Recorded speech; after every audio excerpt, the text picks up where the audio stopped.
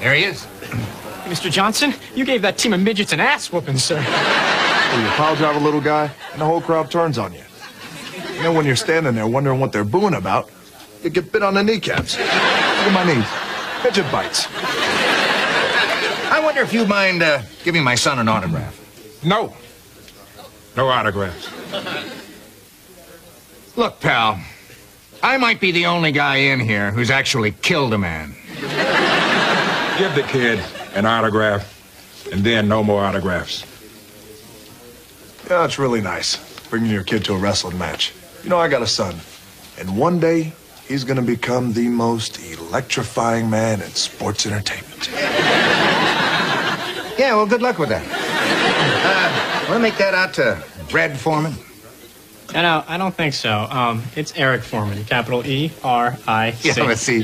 His nickname is Red. No, it's not. It's Eric. Stop kidding around, Red.